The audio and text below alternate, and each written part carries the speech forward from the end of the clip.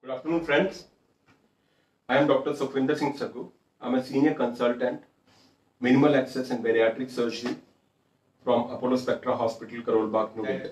We are fighting with unprecedented crisis because of COVID-19 and which has kept us away from our patients, from our relatives, from our elective surgical work.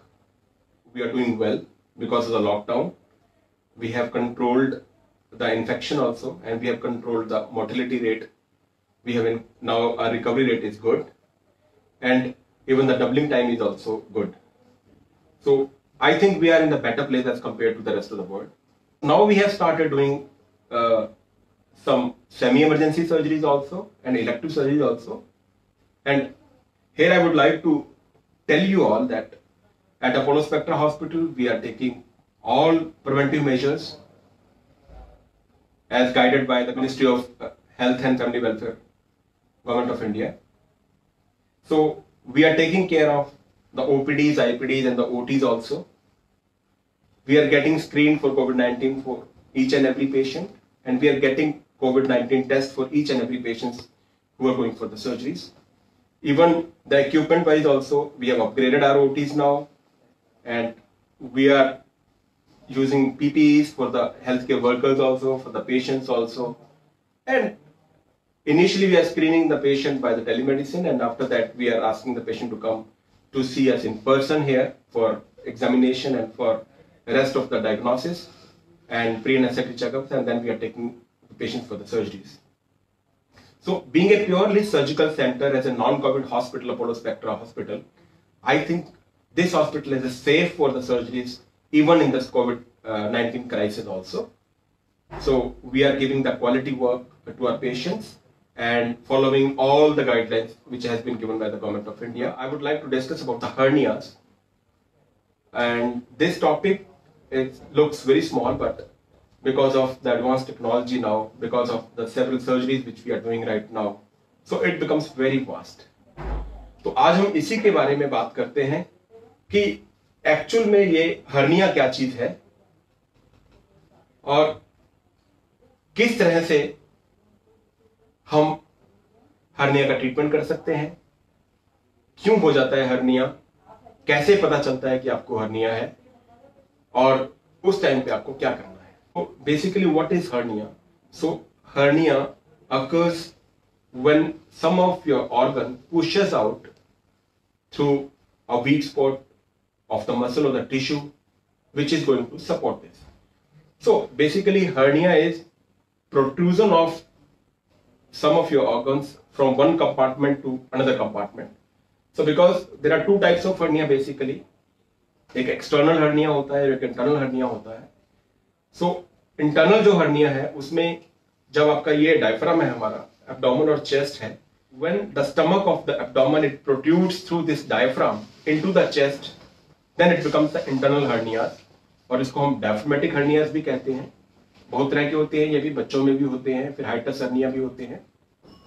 और एक होते हैं external hernias external hernias का मतलब कि जो अंदर के बॉडी के ऑर्गन है, वो बाहर की कैविटी में, अंदर की जो पेरिटोन कैविटी एब्डोमिनल कैविटी है, उससे जो प्रोड्यूट करके बाहर की जो कैविटी है एनवायरमेंट में हमारी एब्डोमिनल वॉल के थ्रू आ जाते हैं। तो when the organ pushes out through the weakness of the abdominal wall into outside environment, then it is known as external hernias. काफ़ी तरह के हर्निया होते हैं जो मोस्ट कॉमन हर्नियाज हैं 70 परसेंट हर्निया इंग्वाइनल हर्निया होते हैं। There may be protrusion of the belly button also that is called as umbilical hernia उसके ऊपर थोड़ा सा that is called as paraumbilical hernias और उसके थोड़ा ऊपर चेस्ट के नीचे होता है तो उसको एपिगेस्ट्रिक हर्नियाज कहते हैं।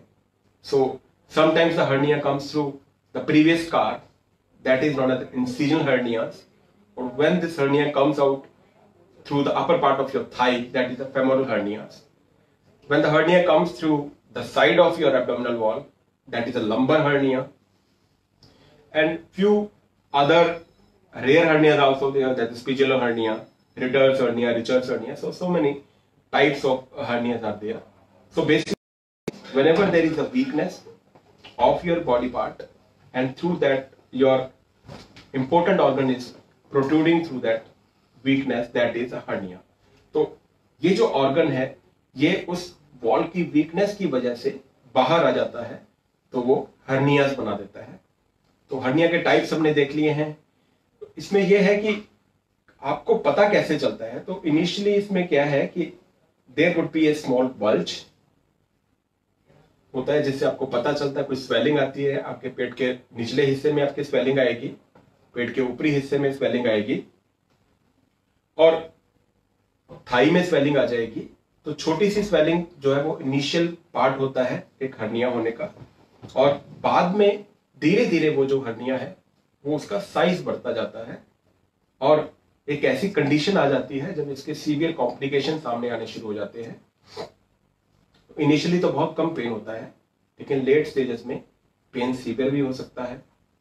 आपको intestinal obstruction because most of the times the intestine they are coming through the hernia जो हमारी फ़ूड पाइप है, उसका पोर्शन बाहर आना शुरू हो जाता है। तो उससे फ़ूड पाइप का ऑब्स्ट्रक्शन जिसको कि इंटेस्टाइनल ऑब्स्ट्रक्शन कहते हैं, वो भी होने के चांसेस रहते हैं। और उस केस में वॉमिटिंग्स शुरू हो जाती हैं, उस केस में कॉन्स्टिपेशन शुरू हो जाता है। और फिर और अगर कंडीशन आगे खराब हो जाती है तो वो जो लूप है आपके इंटेस्टाइन का फ़ूड पाइप का, वो जो लूप है, वो वापस अंदर नहीं जा सकता। तो उसकी ब्लड सप्लाई कम होना शुरू हो जाती है। तो वो स्टेंगुलेटेड हर्निया उसको कहते हैं। तो उस केस में आपको उसमें फीवर आना शुरू हो जाता है इन्फेक्शन होना शुरू हो जाता है काउंट्स बढ़ने शुरू हो जाते हैं। तो कोशिश यही रहती है कि जो स्टेज है हर्निया की वन टू और थ्री और फोर तो वो थ्री और फोर स्टेज में ना जाए स्टेंगुलेशन की कंडीशन में ना जाए। हम उससे पहले ही इसका इलाज जो है वो कर सके। अब ये हर्निया होते क्यों है? कारण क्या है इन हर्निया होने का? इसमें या तो जो हमारी मसल्स हैं, उसकी वीकनेस की वजह से हमारे टिश्यू हैं, उसकी वीकनेस की वजह से हो सकता है। It may be because of the weakness of the abdominal wall और it may be because of the sustained chronic straining दोनों ही कारण हो सकते हैं, और दोनों का कॉम्बिनेशन भी हो सकता है।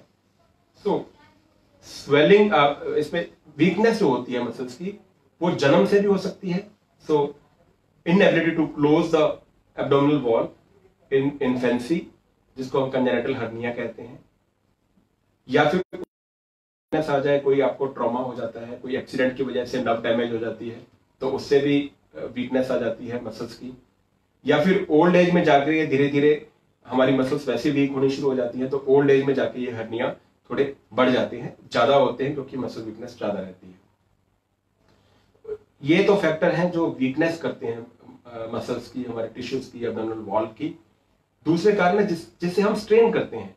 The persistent straining also can lead to hernia formation so that straining में भी because of the chronic cough अगर आपको लंबी खांसी है, ज़्यादा खांसते हैं, उसका ट्रीटमेंट प्रॉपरली नहीं लिया है तो जितना खांसी ज़्यादा करेंगे चेस्ट का प्रेशर बढ़ेगा डायफ्राम नीचे को प्रेस करके एब्डोमन का प्रेशर बढ़ाएगा। तो बेसिकली स्ट्रेनिंग से, ऐसी स्ट्रेनिंग जिससे एब्डोमन का प्रेशर आपका बढ़ रहा है that can lead to hernia formation तो क्रॉनिक कफ से हो सकता है? अगर आप स्मोक करते हैं, उससे हो सकता है। कॉन्स्टिपेशन है, उस पर स्ट्रेन कर रहे हैं तो उससे ये हो सकता है।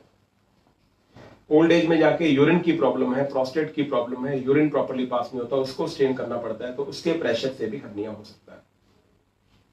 फिर प्रेगनेंसी के टाइम में एब्डोमन का प्रेशर वैसे ही ज़्यादा होता है तो उसकी वजह से भी जो है बेली बटन कई बार बाहर आ जाता है तो वो अम्बलाइकल हर्निया बाद में बनने के चांसेस रहते हैं, या फिर जो मसल्स हैं वो अपार्ट हो जाती हैं रेक्टस मसल्स तो डाइवेरिकेशन ऑफ़ रेक्टाई होने के चांसेस रहते हैं।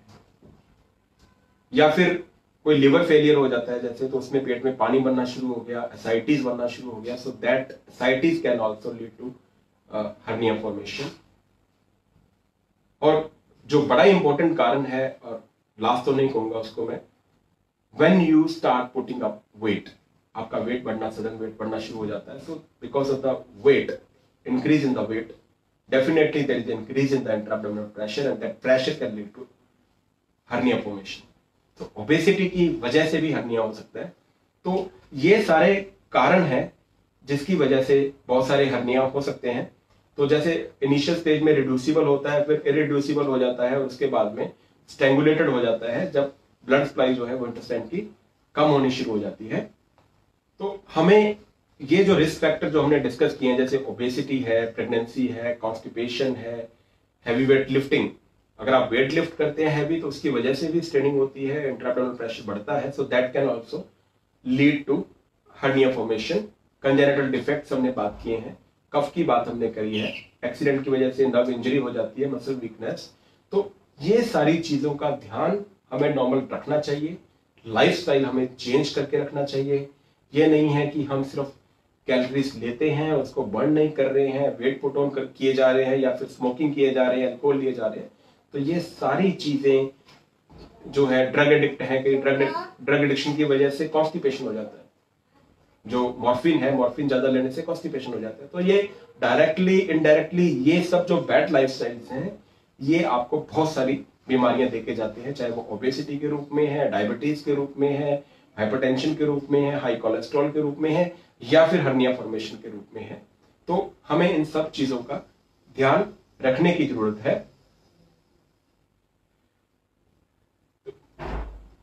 एक हर्निया के बारे में यह है कि most of the hernias they are not an emergency for the surgeries but but we should not make our hernias an emergency condition emergency नहीं है हर्निया आप उसको सर्जरी करवा सकते हैं ट्रीटमेंट ले सकते हैं, थोड़ा वेट कर सकते हैं, लेकिन इतना वेट ना करें कि उसको आप इमरजेंसी बना लें.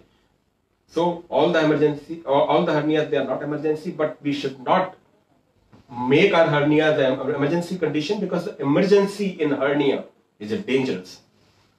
Emergency का मतलब जो आपकी फ़ूड पाइप का ब्लड फ्लो कम हो जाता है ब्लैक हो जाती है गैंग्रीनस हो जाती है तो फिर एक बहुत बड़ा सर्जरी करना पड़ता है, फिर ओपन तरीके से सर्जरी होता है। तो उससे हमें बचना चाहिए, कोशिश करना चाहिए कि हम टाइम रहते अपनी डिज़ीज़ का इलाज अच्छी तरह से करवा लें। अब हमें इसके लिए करना क्या है? आपको अपने फिजिशियन से मिलना है, अगर आपको लगता है कोई स्वेलिंग है तो आप अपने फिजिशियन से मिलें जल्दी से जल्दी और उसकी राय लें। Then your physician will monitor your hernia and he will take a decision whether you can wait और you can not wait for the surgery for hernia but you have to consult your physician that is must that is compulsory you can not wait for your hernia to become an emergency condition तो वहाँ पे वो physical examination आपका करेंगे, उससे पता चलेगा कि हर्निया किस स्टेज में है, किस पार्ट में हर्निया है। अल्ट्रासाउंड एब्डोमन करा सकते हैं, उसके बाद में एक्सरे चेस्ट एक्सरे एब्डोमन करा सकते हैं। और अगर एडवांस कंडीशन है सीवियर कॉम्प्लिकेशन भी आ गए हैं तो हम सीटी करवा के देखते हैं सीटी स्कैन कराते हैं। और इंटरनल हर्नियाज के लिए हम, अब इंटरनल हर्निया जो हम बात कर रहे थे डायफ्रोमेटिक हर्निया है हाइटस हर्निया है गैस्ट्रोइसोफेजियल रिफ्लक्स डिज़ीज़ है उसमें क्या होता है कि सिम्टम्स जो आते हैं, वो एसिडिटी बननी शुरू हो जाती है ज़्यादा। उसमें खट्टा पानी गले में आना शुरू हो जाता है रिफ्लक्स होना शुरू हो जाता है स्टमक के कंटेंट्स जो है आपके, वो अपर इसोफेगस में जाना शुरू हो जाते हैं। सो they it there may be heaviness of abdomen there may be hyper acidity there may be reflux also and there may be the contents of the stomach, they are going upwards into the esophagus, and that can again lead to ulceration of the esophagus. वो आपकी oesophagus को जो upper part है food pipe का, उसको भी अल्सरेट कर देता है और उसके बाद में उसमें कैंसर के चांसेस बढ़ जाते हैं। मुँह में भी ओरल में कई कई बार छाले हो जाते हैं अल्सर हो जाते हैं तो वो भी जो एसिड हाइपर रिफ्लक्स होती है, उसकी वजह से जाकर के वो छाले जो है बनने शुरू हो जाते हैं। तो अगर ऐसी कोई कंडीशन है तो फिर उसके लिए हम एंडोस्कोपी कराते हैं बेरियम स्वेलो करा के देखते हैं कि जो चेस्ट और एब्डोमन के बीच में वॉल्व है लोअर इसोफिजियल स्फिंक्टर जिसको बोलते हैं, क्या वो स्फिंक्टर वीक तो नहीं है? उसकी वीकनेस की वजह से जब हम खाना खाते हैं तो खाना नीचे जाता है, लेकिन ये वन वे वॉल्व होता है। जब खाना खा लिया हमने तो वो स्टमक में जब खाना है तो उसको आगे जाना है, वो ऊपर ना जा पाए एसिड हमारा ऊपर ना आ पाए, इसलिए वो वॉल्व है जो कि वन वे होता है। तो कई बार वो वीक हो जाता है तो वो बंद नहीं हो पाता तो हमारा जो गैस्ट्रिक कॉन्टेंट्स है, जो एसिड है, वो वापस ऊपर चढ़ना शुरू हो जाता है। तो हम कहते हैं, खट्टे डकार आ रहे हैं हमें, खट्टा पानी गले में आ रहा है। या फिर मेरे मुँह में मेरे को कड़वापन लग रहा है, मेरे मुँह में अल्सर्स हो रहे हैं तो ये सारे सिम्टम्स जो है वो इंटरनल हर्निया जिसको कोई हाइटस हर्निया कहते हैं डायफ्रामेटिक हर्निया कहते हैं, ये सब उसके सिम्टम होते हैं। तो इसके लिए भी हमें अपने फिजिशियन फिजिशियन को जाके कंसल्ट करना चाहिए प्रॉपर हमें ट्रीटमेंट लेना चाहिए। इसका मैनेजमेंट जो होता है, बहुत ही इंपॉर्टेंट है। हर्निया का मैनेजमेंट हमें किस तरह से अपने हर्निया को मैनेज करना है, अपने आप मैनेज नहीं करना हमें अपने फिजिशियन कंसल्टेंट के पास जाना है। वो उस टाइम देखते हैं कि कौन सी स्टेज में है। अगर कॉम्प्लिकेशन आ गए हैं सीवियर स्टेज में है, बहुत ज़्यादा सीवियर पेन आपको हो रहा है वॉमिटिंग हो रही है कॉन्स्टिपेशन है फीवर है तो फिर उस कंडीशन में हमें एंटीबायोटिक स्टार्ट करते हैं वो, ताकि हमारा जो हॉट पोजिशन है वो कूल हो जाए और उसके बाद में उसको ऑपरेट कर पाए। और अगर इंटरनल हर्निया है तो हम पेंटोप्राजोल है, कुछ एच टू रिसेप्टर ब्लॉकर है, वो सब पेन किलर्स हमें सब देने पड़ते हैं। और फिर हमें प्रॉपर हर्निया का जो है वो मैनेजमेंट आता है। तो उसमें बड़ा इंपॉर्टेंट है अगर आपको लगता है कि छोटा सा बल्ज बनना भी शुरू हुआ है हर्निया भी शुरू हुआ है।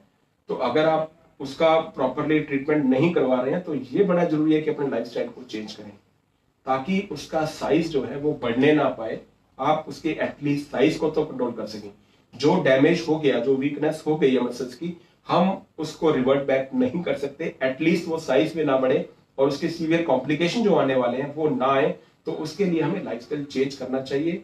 उसमें अगर आपको वेट लूज करना है प्रॉपर आपको एक्सरसाइज करनी है, अगर आप स्मोक करते हैं तो बंद करना है स्मोक को एल्कोहल को बंद करना है कॉन्स्टिपेशन रिलीव करना है कॉन्स्टिपेशन बिल्कुल नहीं होना चाहिए। अच्छी डाइट लें सैलेड ज़्यादा लें फाइबर डाइट ज़्यादा लें पपीता ज़्यादा लें फ्रूट और वेजिटेबल्स ज़्यादा लें, पानी ज़्यादा पिए तो अपने कॉन्स्टिपेशन को ट्रीट करें।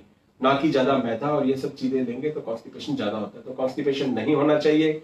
और अगर यूरिन की प्रॉब्लम है, अगर यूरिन में ब्लॉकेज है यूरिन में आपको प्रॉब्लम आ रही है स्ट्रेन करना पड़ रहा है तो अपने यूरोलॉजिस्ट से ज़रूर मिलें, अपने यूरिन का इलाज कराएँ, ताकि यूरिन कॉन्स्टिपेशन की वजह से आपका इंटरन एबडोमिनल प्रेशर ना बढ़े और आपका जो हर्निया है वो ज़्यादा ना बढ़े। क्योंकि ओल्ड एज में ज़्यादा केसेस जो आते हैं वायरल हर्नियाज के, वो इसीलिए आते हैं क्योंकि यूरिन की प्रॉब्लम होती है। प्रोस्टेट बड़ा हो जाता है। प्रोस्टेट बड़ा होने की वजह से आप यूरिन प्रॉपरली पास नहीं कर पाते हैं।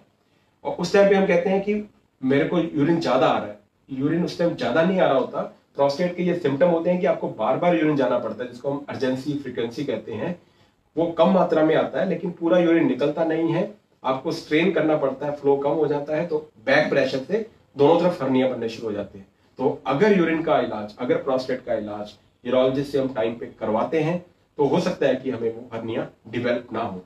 तो हमें हर बीमारी को जो है वो स्टेज वन में ही पकड़ना है। इनिशियल हम अगर उसको पकड़ेंगे तो उसका इलाज भी जल्दी हो जाएगा और ज़्यादा कॉस्ट फैक्टर भी नहीं आएगा, ज़्यादा हॉस्पिटल में स्टे भी आपको नहीं करना पड़ेगा। तो ये सारी चीज़ें इन्वॉल्व हो जाती हैं और अगर हम उसी को बढ़ा लेते हैं वेट करते रहते हैं तो ये सारी चीज़ें आ जाती हैं बाद में। कि हमारे इलाज में पैसा भी ज़्यादा लगता है हॉस्पिटल स्टे भी बढ़ जाता है, हमें प्रॉब्लम ज़्यादा आती है, हमारे बॉडी में इंजरी और डैमेज भी ज़्यादा होता है।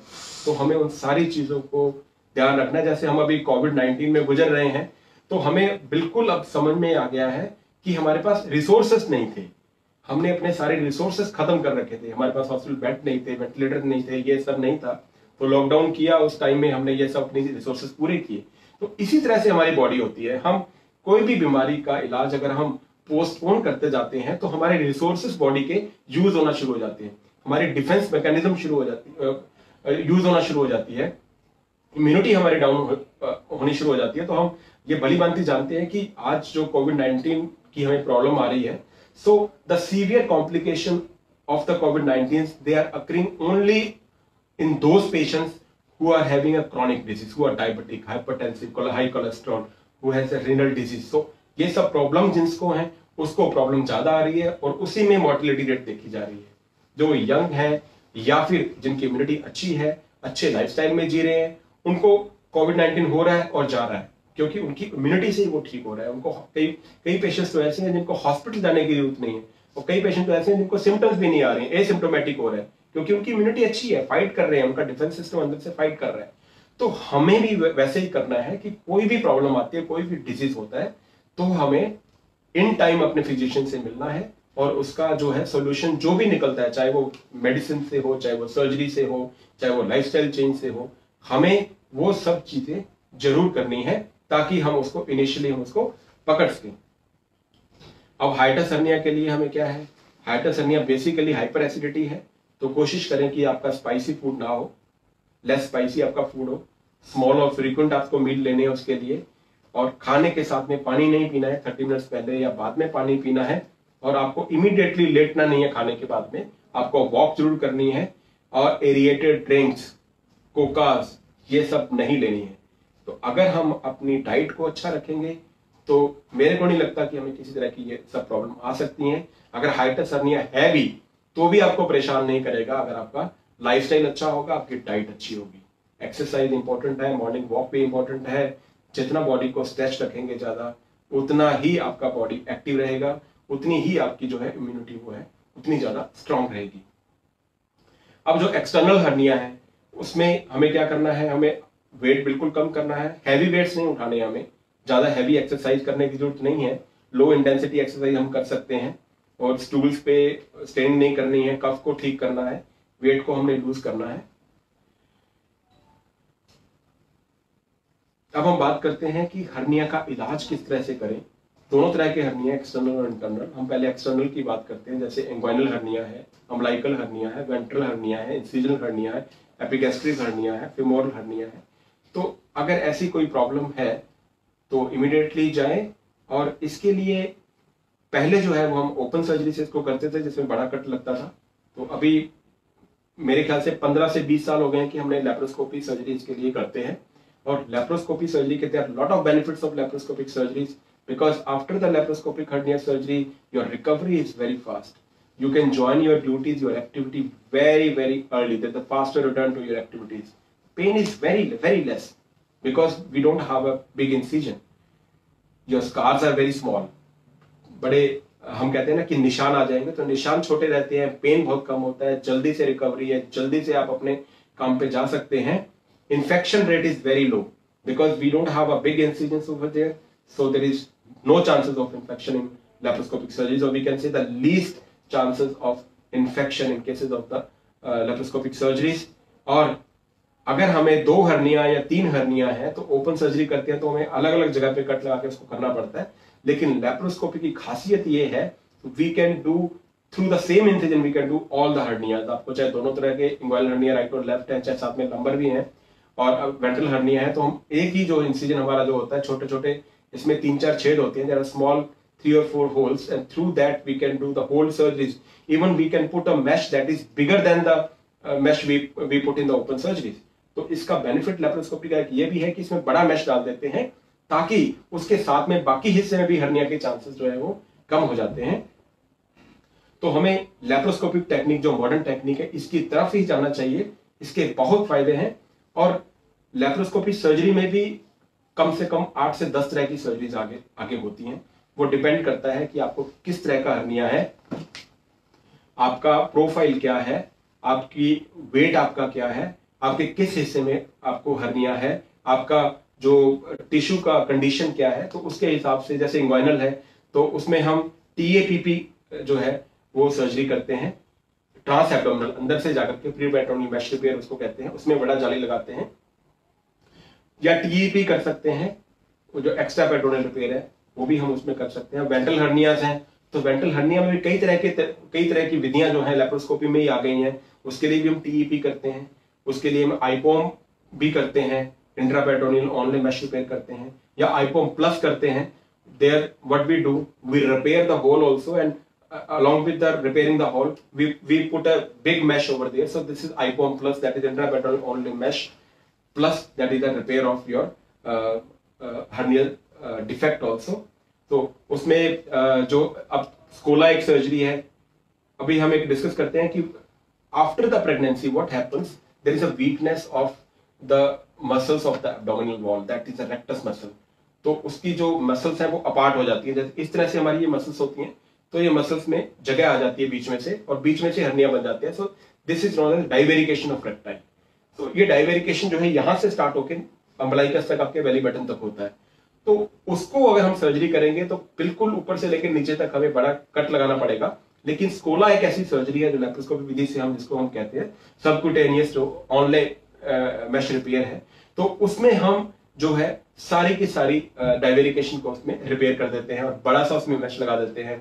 बिल्कुल कॉस्मेटिकली भी बहुत अच्छा जो है इसका रिज़ल्ट आता है। इसी तरह से टाम है। टाम को भी हम कर सकते हैं।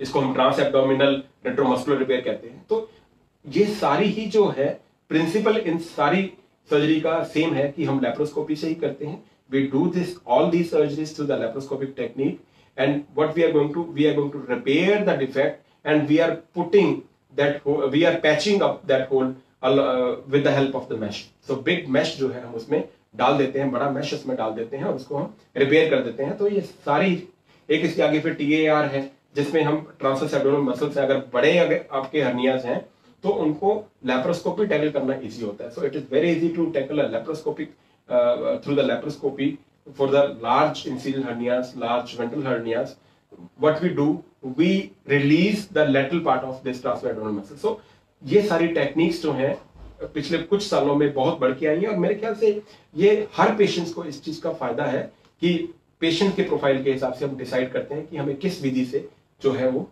सर्जरीज हमें करनी है। तो मेरा आपको मैसेज यही रहेगा कि, मेरा आपको मैसेज यही रहेगा कि अगर कोई ऐसी प्रॉब्लम है तो आप तुरंत अपने फिजिशियन से मिलिए कंसल्ट करिए, उनकी सलाह लीजिए, और फिर आप जो है अपनी सर्जरी करवाइए। हम अभी भी ये सर्जरी कर सकते हैं, बिल्कुल प्रिकॉशंस लेकर के मेजर्स लेके सर्जरी कर रहे हैं।